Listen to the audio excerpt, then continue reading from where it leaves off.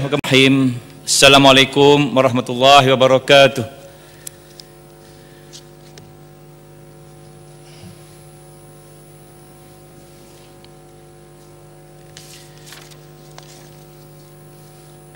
Yang berhormat Datuk Seri Menteri Besar, yang berhormat yang saya muliakan. Mesyuarat disambung semula, saya menjemput sekiranya ada yang berhormat yang masih ingin berucap. Silakan.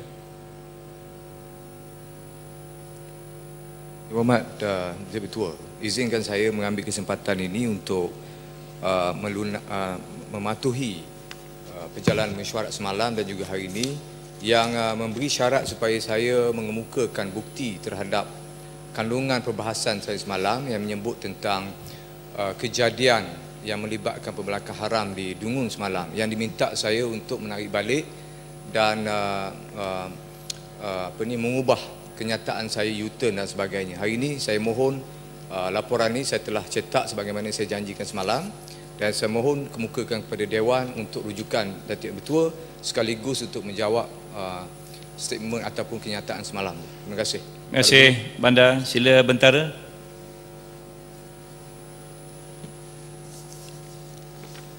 Ada empat uh, set uh, dokumen ya. Okay, kita catat kita terima empat dokumen daripada Bandar. Terima kasih. Terima kasih banyak Bandar. Sila kepada yang berhormat yang ingin mengambil uh, bahagian dalam perbahasan. Sekiranya kalau tak ada saya nak minta kerajaan gulung. Sila. Air putih. Terima kasih air putih. Silakan. Bismillahirrahmanirrahim. Alhamdulillahirabbil alamin wa bihi nasta'in. Assalamualaikum warahmatullahi taala wabarakatuh. Yang berhormat Assalamualaikum warahmatullahi Datuk Yang Dipertua, Yang Berhormat Menteri Besar, rakan-rakan ahli majlis kerajaan negeri, rakan daripada YB-YB sebelah sini dan sebelah sana, ketua jabatan, para pemerhati, Tuan Mempan, wakilan pemerhati yang saya hormati sekalian. Uh, sebelum saya meneruskan perbahasan ini, saya pohon semua ahli dewan dan juga pemerhati sama-sama kita berdoa kepada Allah Subhanahu taala supaya rakan kita daripada cukai cepat sembuh. Difahamkan sehari dua ini tak apa sihat. Jadi minta kepada Allah supaya rakan cepat sembuh dan dapat pulih dan menjalankan tugas seperti biasa.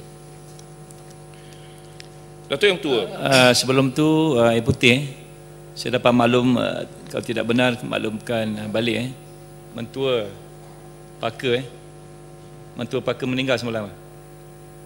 Kita saya rasa kita mengambil atas semangat solidariti kita canang kita bersama kita sama-sama menghadiahkan Al-Fatihah kepada bonda mertua uh, YB Paka. Al-Fatihah. Alhamdulillah insyaallah. Bismillah.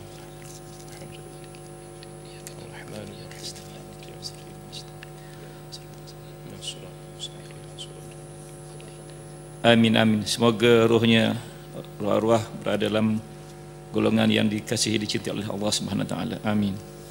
Sila Air Putih. Yang Berhormat Datuk Ketua, saya kali ini adalah sidang dewan yang lebih daripada 40 bagi saya sejak tahun 2008. Dan dalam banyak-banyak pementangan bajet, saya rasa cukup teruja pementangan tahun ini sebabnya ada beberapa perkara yang saya akan kongsi bersama. Yang pertamanya ialah pertama kali Yang Berhormat Menteri Besar membentangkan bajet menggunakan teknik ataupun uh, cara uh, touch point yang mana merentasi semua sektor. Kalau dulunya kita bercakap tentang bajet tentang uh, pembangunan, bajet tentang perumahan, bajet tentang uh, uh, uh, pertanian dan sebagainya tapi kali ini 60 touch point ini merentas segala-galanya dan jelas dan amat menarik untuk dilihat oleh rakyat. Syabas pada pihak kerajaan. Perkara keduanya ialah um, kali ini juga ialah nampak jelas bahawa penyelesaian yang dibawa oleh kerajaan itu adalah penyelesaian three feet solution dengan izin ataupun penyelesaian tiga kaki. Kita melihat dengan jelas daripada touch point touch point ini banyak isu yang terus yang diberi pada rakyat dan juga sebagainya diberi untuk menjanakan ekonomi rakyat. Sebab itu Datuk Ketua saya suka sentuh tentang perbezaan antara people economy dan juga capital economy. Sekarang ini negara Malaysia kita dah amat baik dari segi capital ekonominya.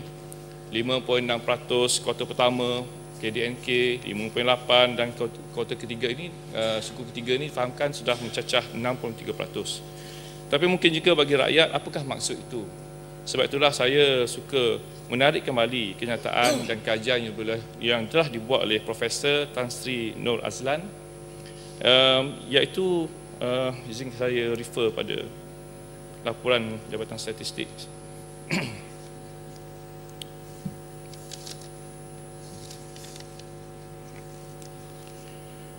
Tentang pendapatan uh, median household median income di negeri Terengganu ini yang telah disebut oleh Yang Amat Menteri Besar. Tapi saya nak tekankan lagi bahawa pertambahan daripada 2014 hingga 2015 Terengganu meningkat yang paling besar iaitu sehingga 24.2%. Dan kita selain daripada negeri negeri sembilan adalah satu negeri yang menjangkau melebihi pendapatan purata medium income uh, purata negara pada tahun 2014 untuk tahun 2016. Dan hanya di depan kita lah Selangor, Johor, Melaka dan Pulau Pinang. Dan ini adalah indikator yang lebih baik daripada pendapatan purata uh, isi rumah. Dan uh, ini kita dapat lihat walaupun KDNK kita dia ambang 3.1 38% tetapi pendapatan rakyat sebenarnya telah meningkat. Ini menunjukkan bahawa perjuangan kita sejak dari dulu lagi daripada menteri-menteri besar yang lama yang yang dulu mantan-mantan menteri besar sebelah saya Don Kija ada bersama dengan kita pada hari ini hasil ini hanya boleh dibuat dicapai atas perjuangan mereka sejak dulu lagi. Syabas Kerajaan Barisan Nasional. Terima kasih pada semua pejuang-pejuang kita. Datuk Yang Tua, uh, satu kali lagi yang saya ingin sentuh ialah tentang ada persepsi di luar sana dan di dalam ini juga mengatakan bahawa kita ni teruk sangat ekonomi kita. Saya ada mencabar beberapa orang bertanya beberapa orang wakil-wakil dalam dewan ini tentang isu-isu yang dibangkitkan tentang seolah-olah kita hidup dalam negara fail state. Saya nak beri perbandingan Yang Datuk Ketua. Pada tahun 2016, maklumat ini saya sedidik daripada laporan Bank Negara um, saya nak buat perbandingan dari sekarang hingga berbanding dengan tahun 1998 ketika ekonomi, krisis ekonomi yang cukup dahsyat melanda negara. Pada tahun 1998, KDNK kita adalah negatif 7.4%. 7.4%. Sekarang ini pada 2015 kita 5%, kuartal pertama 2016 4.2, 4.0, 4.3 kemudian tahun 2017 naik 5.6, 5.8 dan, dan 6.3. Semuanya positif. Dan ini bukan krisis sebenarnya. Kalau krisis ialah seperti tahun 1998 iaitu negatif 7.4%. Saya juga buat perbandingan pada tahun 1985. Debt to GDP ratio 103.4%. Mana hutang kita lebih besar daripada GDP kita. Tetapi pada 2016 kita di tahap 53.4%. Dan ini bukan krisis Datuk Yang Ketua. 2016, NPL, Non-Performing Loan, hutang nisbah hutang bank tak berbayar pada 2016 hanya 1.6% berbanding pada era krisis 1998 dan 1999 di mana 14.9% nisbah hutang bank tidak berbayar. Sekarang bukan krisis. Saya juga ingin menyentuh tentang interest rate ataupun bank lending rate 2016 4.5% ekonomi boleh berkembang berbanding 1998 13.5%. Itu krisis Datuk Yang Tua. Datuk Yang Tua, saya juga ingin menyentuh tentang nilai mata wang. Semalam kata makin teruk. Sebenarnya kalau kita lihat 3 bulan terakhir ini nilai mata wang kita berbanding dengan dolar Amerika sudah semakin baik. Sebenarnya daripada 4.4 ringgit per 1 dolar sekarang turun hingga 4.1 atau 4.05 ringgit 1 dolar Amerika. Ini disebabkan uh, Yang tua Yang tua boleh mencelah? Oh saya sentiasa bagi. Alhamdulillah Baik. Main, main badminton sama orang. Sila Radang. Uh, Apakah Yang Hormat sedar Bahawa Ringgit kita Telah tidak diterima Di banyak negara Di Thailand saya pergi Tak boleh terima dah Yang terimanya cuma Vietnam je lagi Apakah ini menunjukkan bahawa Keyakinan orang kepada nilai mata wang kita terlalu rendah. Ada nama maklumat ya, ya Muhammad? Tiada. Datuk Ketua, saya nak maklumkan bahawa mata wang kita semakin meningkat disebabkan beberapa perkara. Sejak daripada November 2017-2016, ekspor kita sudah meningkat double digit growth dengan izin sehingga pada bulan uh, November Disember 2017. Bila kita banyak ekspor, uh, makin baik mata wang kita sebabnya kita, orang membeli mata wang kita jadi mata wang kita akan the demand is higher dengan izin akan terus meningkat. Dan juga FDI, foreign direct investment yang telah masuk ke negara kita sejak uh, daripada Aramco melabur di Malaysia awal tahun akhir tahun lepas dan juga pelaburan yang terus dilaksanakan oleh kerajaan Malaysia menyebabkan keadaan uh, kewangan dan juga mata wang kita semakin meningkat Datuk Yang Tua. Datuk Yang Tua, saya nak sentuh juga tentang penjualan kereta.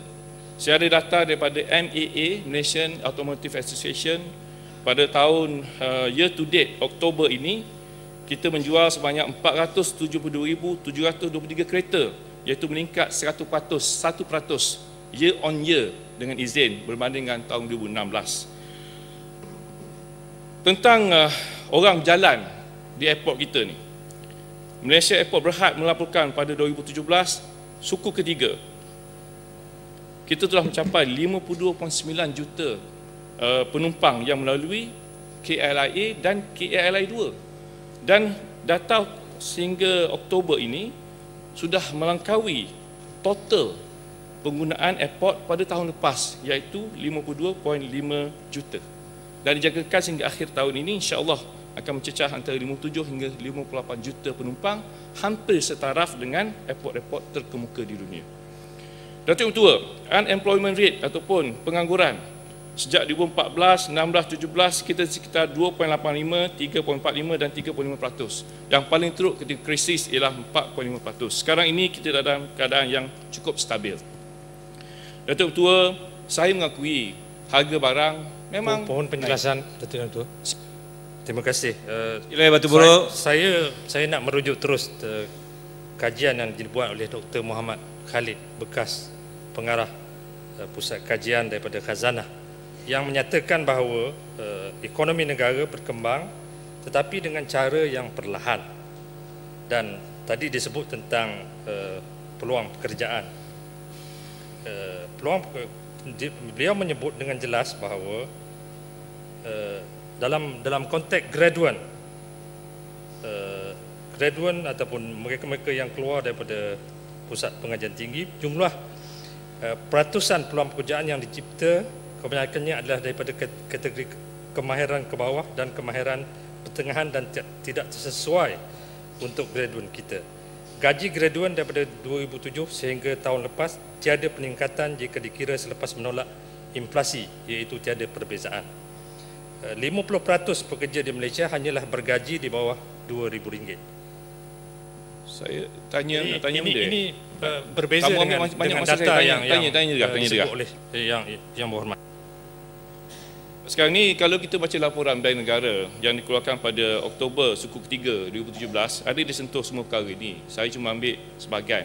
Jadi saya tak argue lah dengan uh, sampling-sampling ataupun kenyataan. Dia satu ekonomi, satu pakar ekonomi tidak boleh mengatakan itu hak mutlak dia untuk berkata apa-apa ataupun itulah segala-galanya. Banyak pandangan. Dan semua saya bagi pandangan berdasarkan laporan Bank Negara yang dibuat pada suku ketiga. Saya teruskan ucapan saya. uh, Datuk Ketua, sikit pasal inflasi ni lah. Sila sila. Inflasi ni sebenarnya ada keadaannya baik terutama apabila dijana oleh permintaan. Kita tak ambuhnya kalau inflasi ni sebab barang tak ada. Kalau berlaku di Venezuela, inflasi berganda-ganda, BT ada tapi tak boleh nak beli barang. Tetapi inflasi di Malaysia ini, sebagaimana dalam laporan Bank Negara suku ketiga ini, ialah inflasi yang dijana oleh consumption, iaitu permintaan dalaman negara kita. Jadi bila orang banyak beli ni barang harga naik, segi saya reasonable, tetapi kerajaan patut berbuat boleh buat lebih baik lagi. Sebab contohnya kita boleh bantulah cari-cari cara bagaimana kita nak bantu rakyat supaya yang rasanya golongan B40 tu kurang terasa. Saya bagi contoh, penjana utama inflasi sebagaimana data yang ditunjukkan oleh Bank Negara ini ialah pengangkutan Sebab itu soalan lisan saya bertanya, bila lagi nak buat pengangkutan awam yang lebih baik di negeri Terengganu? Sebab pengangkutan ini dia mengambil sampai 17% daripada komponen inflasi yang ditekan oleh kerajaan. Ia ditekan oleh uh, ditekan pada rakyat sekarang. Kalau uh, peningkatan barang yang tidak tahan lama hanya 3 atau 4% tetapi sektor pengangkutanlah komponen inflasi yang paling tinggi. Sebab itu saya minta pihak kerajaan segerakan bincanglah dengan kerajaan pusat segerakan isu pengangkutan terutama pengangkutan di bandar-bandar di dalam negeri Terengganu ini. Datuk Ketua, saya um, saya tak tahulah ini ucapan saya terakhir ke tidak. Dah 43 kali berucap, term sudah nak habis. Saya nak ambil peluang untuk terima kasih pada Datuk Ketua dan pasukan Datuk Yang Tertua, kawan-kawan, uh, staf kita di Pejabat Dewan dan semua ahli-ahli Kakak saya di luar sana, di luar sini, saya minta maaf hujung kaki, hujung rambut. Kalau salah silap saya selama ini, saya menjadi ahli di Dewan ini, halalkanlah makan minum saya. Kita tak tahu. Cuma saya berasa bangga dapat diberi oleh Allah Subhanahu Taala mewakili don saya dalam Dewan yang muda ini, mewakili rakyat Terengganu dalam memperjuangkan isu-isu rakyat kita yang kita cintai ini. Jadi saya ucap terima kasih sekali lagi beri ruang kepada saya dan semoga Allah memberkati hidup kita, Allah memberkati negeri kita, Allah memberkati anak cucu kita insya-Allah. Amin. Wabillahi taufiq wal hidayah. Assalamualaikum warahmatullahi taala wabarakatuh. Saya pohon menyokong. Sebanyak sila air putih, sila kijal. Bismillahirrahmanirrahim. Assalamualaikum warahmatullahi wabarakatuh. Waalaikumsalam warahmatullahi wabarakatuh. Yang berhormat Datuk Yang Pertua, Yang berhormat Datuk Seri Menteri Besar,